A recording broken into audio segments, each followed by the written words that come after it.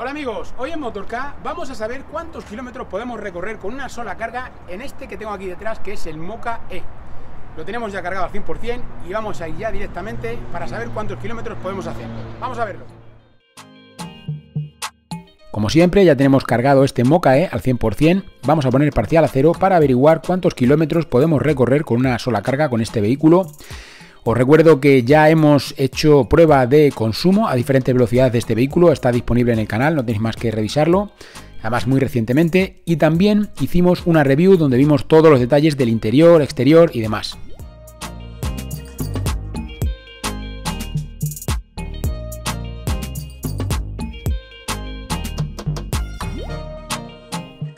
Una vez más, mientras continuamos con esta super prueba de autonomía con este Mocae, os quiero recordar que tenéis disponible la web oficial del canal, ya sabéis que es motork.com, donde os podemos ayudar a conseguir la mejor oferta para ese vehículo 100% eléctrico o híbrido enchufable que tanto te gusta. Recuerda que en motork.com podemos ayudarte a conseguir la mejor oferta. Siempre os decimos que son pruebas reales y aquí tenéis el ejemplo más claro. Esto es una prueba totalmente real como os puede ocurrir a cualquiera de vosotros en vuestro día a día. Como veis, no siempre se puede ir a una velocidad específica. A veces es el tráfico el que marca la velocidad, pero esto no es porque sea una prueba, esto es que os puede pasar a vosotros exactamente igual en vuestro día a día. Entonces, es lo que entiendo yo que queréis ver, que es lo que, lo que vais a encontrar luego cuando tengáis un vehículo cualquiera de los que estamos viendo en el canal.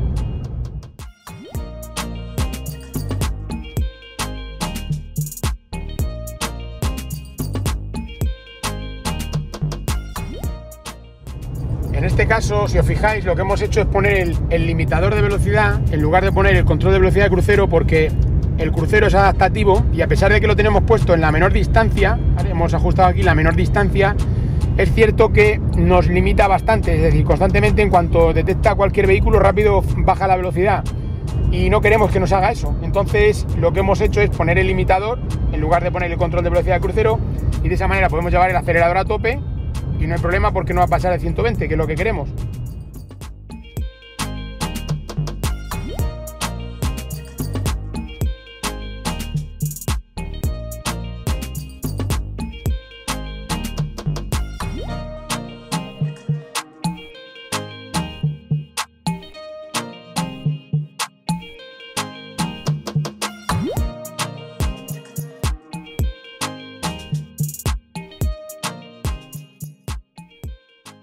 Hemos hecho una pequeña parada, llevamos recorridos 103 kilómetros, eh, nos queda el 57% de batería todavía. Y bueno, la media que tenemos ahí de consumo es de 18,6. Ya sé que hay gente que a lo mejor puede llegar a criticar el tema de que funcione o no funcione. Yo para mí en este momento yo os puedo decir que me lo creo. Esa media de consumo me la creo.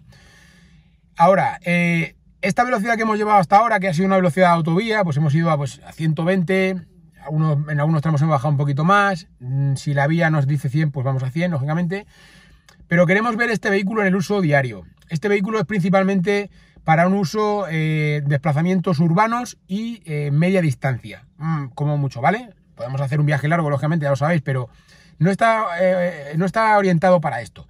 Entonces, vamos a bajar un poco la velocidad para que podamos ver cuál es lo que, cuántos son los kilómetros que puede dar de sí este vehículo en un uso diario, en una velocidad que podemos entender que es la más habitual, eh, teniendo en cuenta el vehículo como está construido y para lo que está hecho. Entonces, a partir de ahora vamos a ir viendo cómo va evolucionando. De momento tenemos, eh, como os decía, 103 kilómetros, pero vamos a ver cuántos conseguimos. De momento os digo que es mm, difícil de saber todavía pero vamos a verlo. Aquí además tenemos una ventaja que es que nos especifica el porcentaje exacto de batería y no tenemos que estar mirando a ver si la rayita está más arriba o más abajo, podemos verlo exactamente. Así es que nada, vamos a continuar.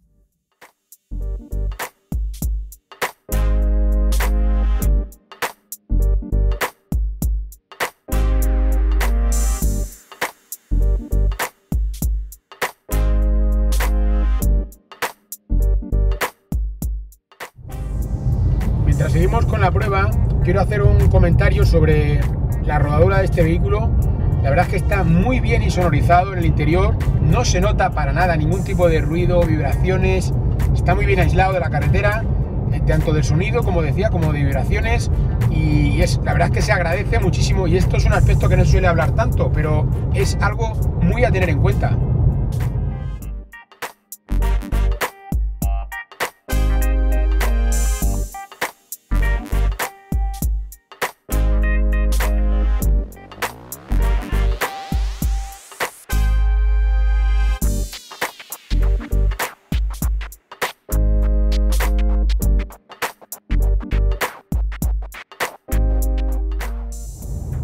Como os comentaba, lo que vamos a hacer ahora es movernos en un entorno que sería el más habitual para este vehículo. Hemos hecho esa primera, eh, primer trayecto que hemos hecho pues en una autovía, pero en este caso ya queremos movernos pues, por ejemplo, en este caso en la periferia de Madrid, ¿vale? Que podría ser aplicable a la periferia de cualquier otra gran ciudad de, España.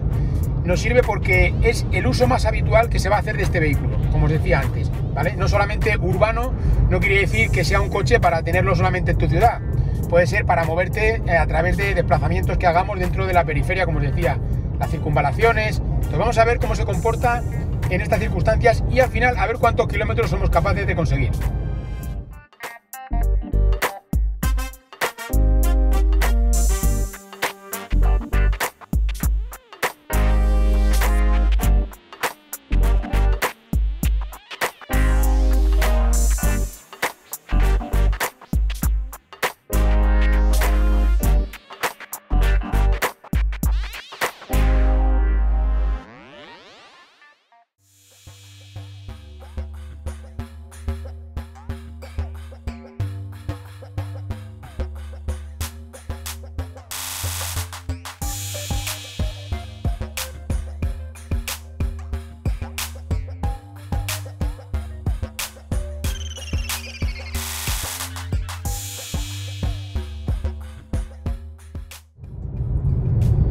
Aquí tenéis, llevamos una media de consumo de 16,9 kilovatios hora a los 100. Aquí coincide, si os fijáis en esta gráfica, porque lo tenemos ahora mismo en los últimos 60 minutos.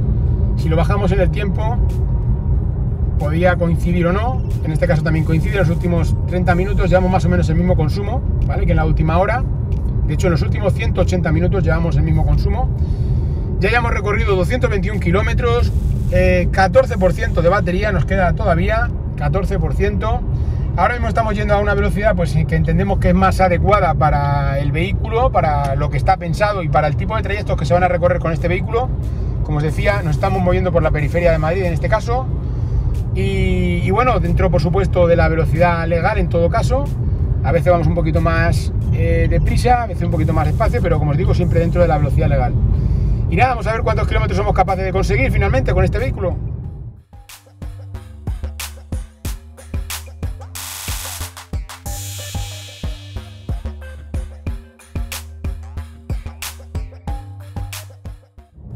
Saltado ya el primer aviso de que nos estamos quedando sin batería. Como veis, automáticamente nos conecta el mapa, esto es una cosa, una funcionalidad que está muy bien.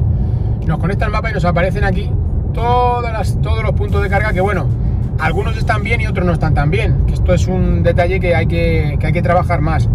Porque a mí que me aparezcan aquí algunos puntos en los que no puedo cargar tampoco tiene mucho sentido. Pero bueno, eh, de todas formas, son bastantes, ¿eh? Porque fijaos que en 2, 3, 4, 5, 6, alguno me va a valer seguro. Entonces nada, vamos a continuar a ver, qué, a ver cuánto da de sí este moca. Mientras seguimos acercándonos poco a poco al final de esta prueba y comprobar cuántos kilómetros podemos recorrer con una sola carga en este Opel Mocha quiero aprovechar para comentaros algo que es interesante y es que próximamente tendremos disponible dentro de la comunidad la posibilidad de que aquellos de vosotros que queráis os podáis hacer miembros premium y vosotros diréis, bueno, ¿yo qué consigo por ser miembro premium? Pues tendréis acceso a contenidos específicos, tendréis la posibilidad de ver eh, antes que los demás eh, algunos contenidos, pues podréis enterar también de, cosas que vamos haciendo antes de que las publiquemos. E incluso tendréis la posibilidad de acceder a nosotros directamente, de poder consultarnos, eh, de poder hacernos preguntas directas sobre, porque incluso haremos directos específicos para este tipo de miembros y que de esa manera, pues si tenéis dudas, consultas que nos queráis hacer, nos las, las podáis hacer directamente, ya casos particulares, oye, pues mira, que estoy interesado en este vehículo, en el otro, tal, ¿qué dudas tenéis sobre este? ¿Qué os ha parecido la prueba, tal? Entonces en ese caso os podremos atender de una forma mucho más personalizada. Pues ya sabemos cuántos kilómetros podemos recorrer con este Moca E. Hemos podido recorrer 261 kilómetros y nos ha sobrado un 4% de batería. Si hacemos un cálculo rápido, eso, ese 4% que nos quedaba sería aproximadamente unos 10-11 kilómetros más todavía, con lo cual hubiéramos podido hacer, o tiene una, autonomía total de 270-272 kilómetros aproximadamente, ¿vale? Ahí nos vamos a equivocar muy poquito. Eso es lo que aparentemente se ve. Si hay una parte de la batería que no vemos, eh, en eso no lo podemos decir nada. Hemos ido a diferentes velocidades. al principio a 120, 110, 115 diferentes velocidades de autovía, siempre respetando las, eh, por supuesto, la norma de circulación y la, y la velocidad máxima de cada vía. Pero luego hemos ido un poquito más despacio porque hemos intentado ver, pues, sobre todo el entorno de circunvalaciones, alrededores de grandes ciudades, que entendemos que es para el uso que más está enfocado este vehículo. Eh, al final, esos 270 y pico kilómetros que podemos llegar a recorrer son yo creo que más que suficientes para el día a día del uso que se le puede dar particular a este vehículo. Sí que es verdad que, podemos afrontar un viaje de media distancia, incluso de larga distancia, con algo que sea muy puntual, algo que no vaya a ser muy habitual, muy a diario, pero para el uso diario, como os digo, para hacer 200 kilómetros, 180, 170, incluso diarios, no habría ningún problema, lo podríamos cargar en casa y sería más que suficiente. Entonces, eh, destacable también algunos aspectos que hemos visto, como por ejemplo el silencio que tiene, eh, también algunos elementos que tiene de lo que sería el puesto de conducción, bastante más completo de lo que nosotros llegábamos a esperar en el principio. Y, nada, esto era lo que, lo que ha dado de sí este, esta prueba de este Moca E. Como sabéis, un vehículo pues 100% eléctrico, nos alegra de que haya cada vez más. Y nada, este era el vídeo que os tenía preparado para hoy. Espero que os haya gustado. Dadle like si os ha gustado. No olvidéis suscribiros al canal si todavía no lo habéis hecho. Y nos veremos en futuros vídeos.